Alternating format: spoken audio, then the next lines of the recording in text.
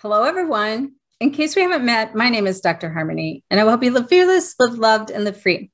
If you're new to my channel, welcome. And if you're returning, welcome back. Make sure you hit subscribe and also the notification bell so that you know when all my videos and content come live.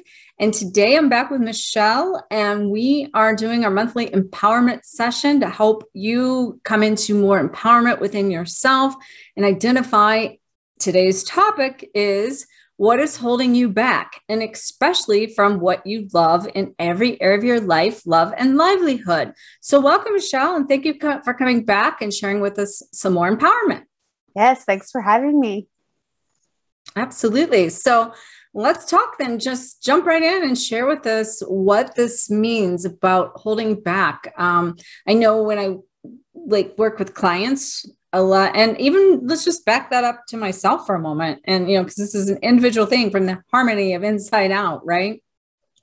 So a rigid mind creates a rigid body those rigid thoughts create a rigid life and so it so the reflection of the interior rigidness of being stuck being limited our subconscious programming our thoughts um, as i said but even our emotions and our actions that really is the magnetizer of what's outside.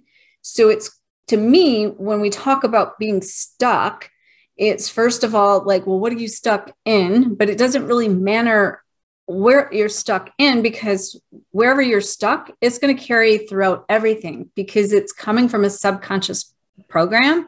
Uh, belief system, the limitations, the family generational programming, um, our fears of you know failure and also our limitations of our own connection to the highest self and pulling all that energy in. So like where are you stuck? I mean that is a huge topic we're going to condense down here because i think the goal is is that it's a reflection of you and where you're limiting yourself and everything around you. So tell us michelle where what this means and how you would help someone to become more empowered by removing these obstacles that are blocking them from moving forward. Okay so this month um, is september. With september august we think of like going back to school and fresh starts. Um, so with this energy we want to jump into it even as adults and really get um, get ourselves out of our own way um, and figure out what's holding us back. So that I have four steps for all of us. The first step is to figure out, um, to stop trying to figure out what's wrong with us. So, a lot of times we want to spend so much energy on going through where did this come from? What from my childhood caused this pattern? Blah, blah, blah. But if you are trying to, um, let's just say, a simple goal of like, you need to save more money, there's a really simple protocol. You need to make more money and spend less and that's incredibly boring and it's not dramatic and it's not fun. Um, but it it just cause you have to step into your power and follow the protocol. It's not fun. But a lot of times we want to figure out what's wrong with us where did this come from and that just distracts us from the actual plan. Um, so we want to quit trying to make things complicated and keep it really simple. So step one is quit trying to figure out what's wrong with you so I would say, in relation to love, a lot of us, when it comes to the twin flame world, is figuring out what's wrong with us and why our twin flame doesn't love us, right? Right, we spend hours with us to begin with.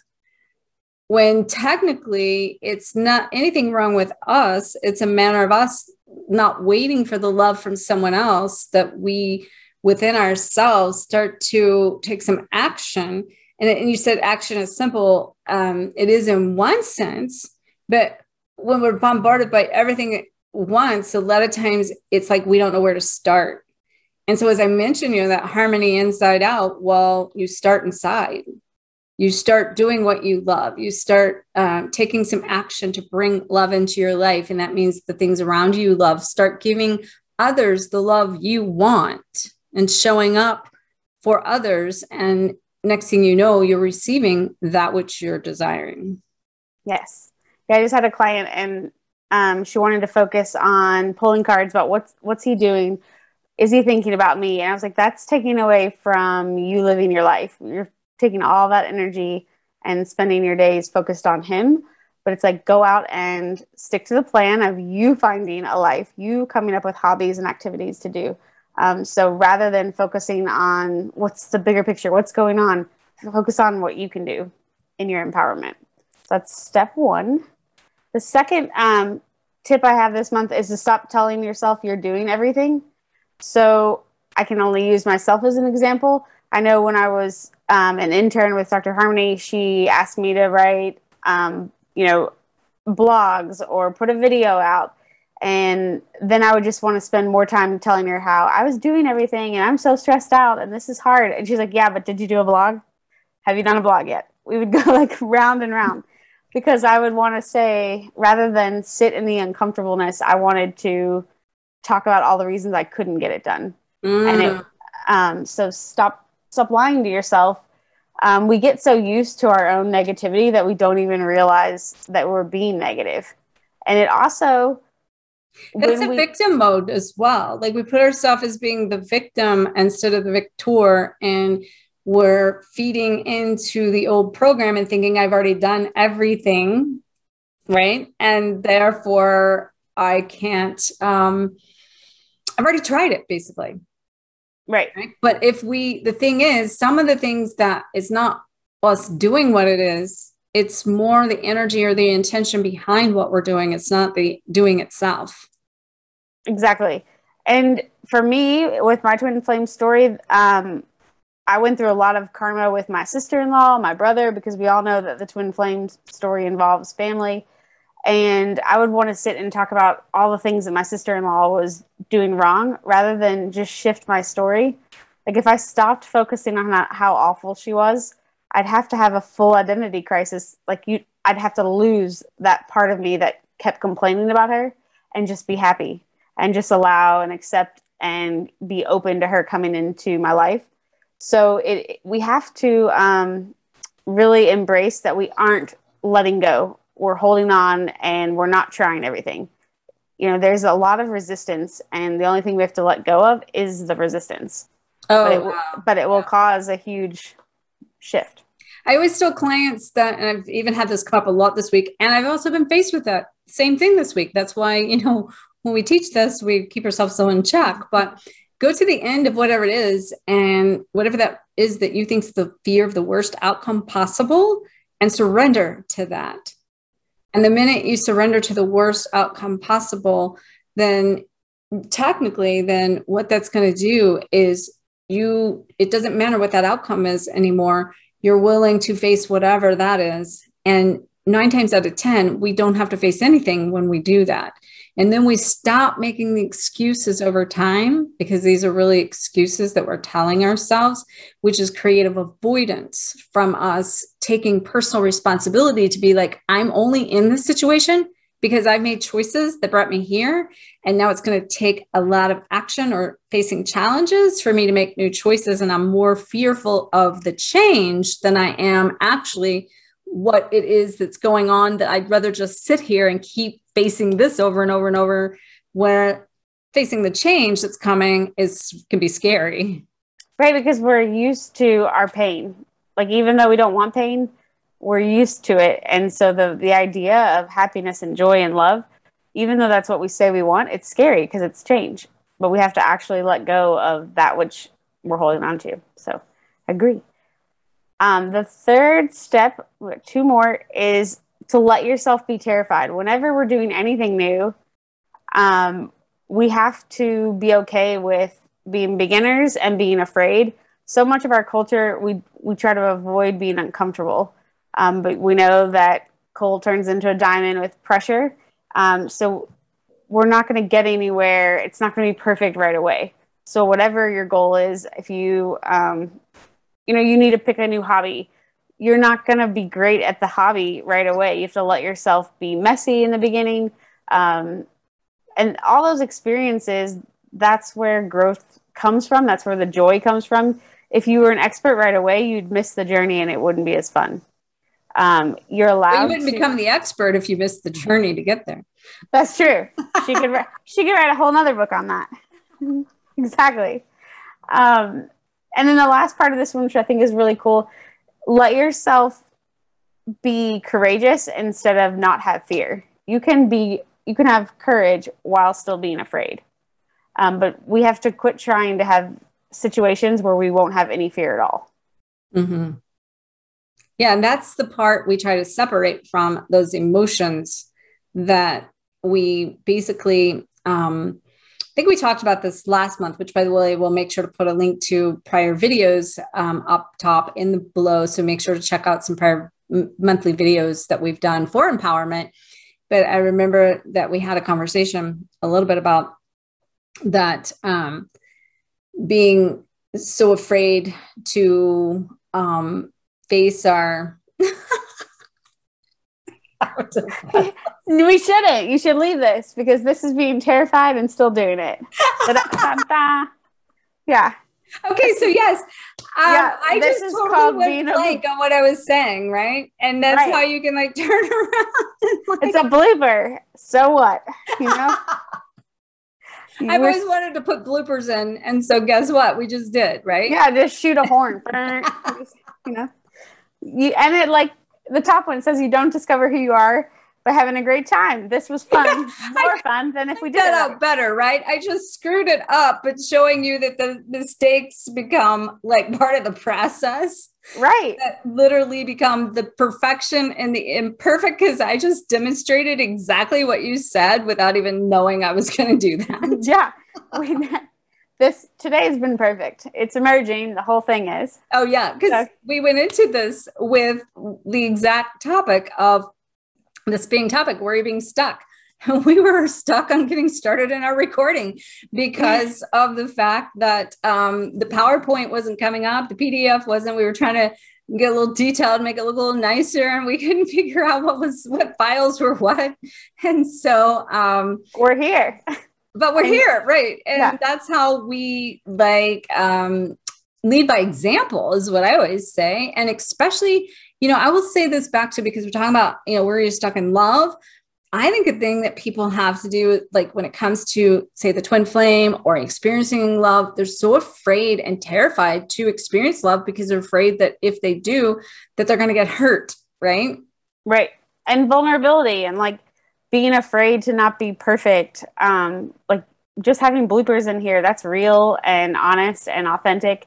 And as twin flames we're on the planet to show um, what's real not this fake idea of everything. So all of us if you're watching this video you have a mission and you have to get out there and you know step into your mission and not wait for everything to be cookie cutter. Have a couple bloopers. Like, let yourself be. Well, it's a good thing Michelle's here. I would have been cutting it out. So I'm totally down with bloopers. Right. Moving on. Last step. um, we want everything to be really easy. So it goes back to we, we don't want to be uncomfortable. Um, we want to start out successful. You know, if you are smooth transitions in our video, right? yeah, we do not want to have any mess ups. Um, we want protection from failure, but these moments are what life is all about. You know, it's real, honest, and it happens. And so we have to quit trying to make sure everything that there's no pain or strife. We're going to be uncomfortable when we're trying new things and putting ourselves out there. Yeah, and I would say that when it comes to like the twin flame journey, we don't want to face ourselves in the reflection also of the twin. We want it to be easy. We want them to be the one to show up being perfect, but we're not willing to do the work that it come that it takes to see our own self in their mirrors sometimes, much less expect them to do it so it makes it easy for you. Or let's take that into loving your like livelihood you don't want to you want to go do something that you love and have passion and purpose about but you don't want to take the action to take that change and to step into trust and faith to move towards it that's going to require a lot of faith versus fear in how am I going to survive to do my passion? I got to go do all these things and stay in this job that I don't like before I can, you know, step into my purpose and mission. And we want that easy route. We want somebody to tell us how to get our purpose and mission when it's already evolving, it's already happening. And there the easy part is saying i don't trust the process. Right. Yeah and you've got to trust the process. Um, a lot of people watching this might be star seeds. We want instant gratification. We have no patience for um, things evolving and growing and that's one thing we have to be comfortable with things taking time and that you know true love will evolve. We can't it's, it's going to happen but it's not going to be easy and it does take work. You know you can't just point your finger at your twin and say he or she needs to fix everything. You know every time you point a finger at somebody there's three coming back at you so you probably have something you need to work on as well. So that's um, all i have for you all this month the four steps to get out of your own way. And just remember that everything we're doing in life it's supposed to be fun like what taking ourselves so serious and just get out there and try something new and um, let yourself grow yeah, and it's not one of the things that I've always heard. Even my at the time, I think he was 12 year old grandson taught me this, and we had done a video about this. Um, that it's not where you put an end to what you don't like, but it's where you start that counts. Mm. And so it's a manner of just starting somewhere in the middle of everything that you have. So if you aren't happy with where you're at right now, it's about taking some action to bring into your life those things you love, like we said in the beginning here, so that one step at a time, you can begin to love everything about your life and experience love from within, from the harmony inside out. So everything will attract you that pertains to the love you're missing and it's not separated from you to begin with. And especially with twin flame love, because that dance starts inside of how we find balance in that resistance and surrender and learn how to flow with this and love what we do, good and bad, our shadows and our light, and come into acceptance and allow ourselves to go through this gracefully so that we can, you know, have the love that we want. And the love of our life, which I'm I'm experiencing, which is amazing. She is. That's awesome. So, all right. Thank you everyone for watching and make sure to check out Michelle's um, sessions below for her empowerment sessions. There's a link below. You can get connected with her and learn more about um, her services.